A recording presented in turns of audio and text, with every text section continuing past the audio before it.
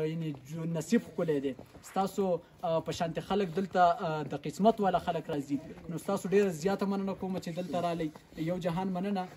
که تاسو څه میسج د دې ځای په علاقې سره د دې علاقې په دغه باندې ورکړئ نو ډیر بخیر سلمان صاحب براول او بیا دیر تاسو د مینې یو جهان مننه او څومره چې دلته کې خلکو موږ له مینه راکړه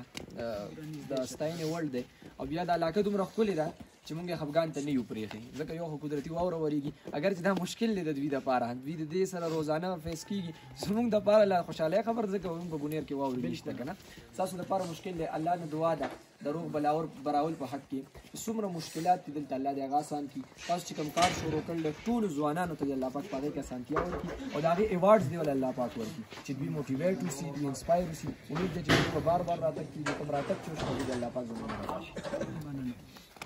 بس بل یو امید ده